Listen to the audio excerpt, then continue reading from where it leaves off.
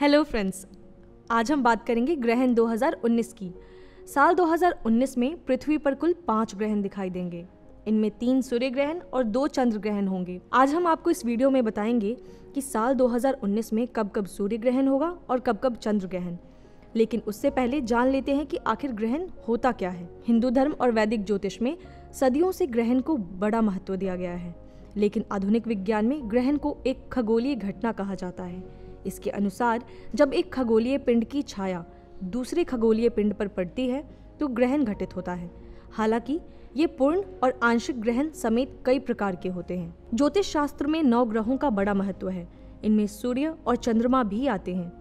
इसी वजह से सूर्य और चंद्र ग्रहण का महत्व बढ़ जाता है। ऐसा माना जाता है कि कोई भी ग्रहण घटित होने से पहले ही उसका असर दिखना शुरू हो जाता है और ग्रहण समाप्त होने के बाद भी इसका प्रभाव कई दिनों तक देखने को मिलता है।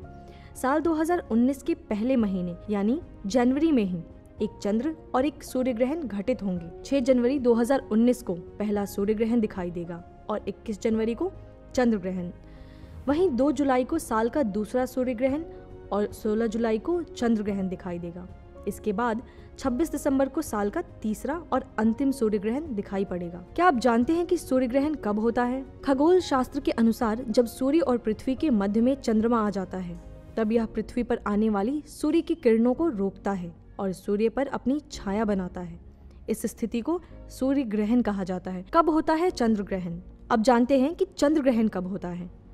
जब सूर्य और चंद्रमा के बीच पृथ्वी आ जाती है तो यह चंद्रमा पर पड़ने वाली सूर्य की किरणों को रोकती है और उसमें अपनी छाया बनाती है।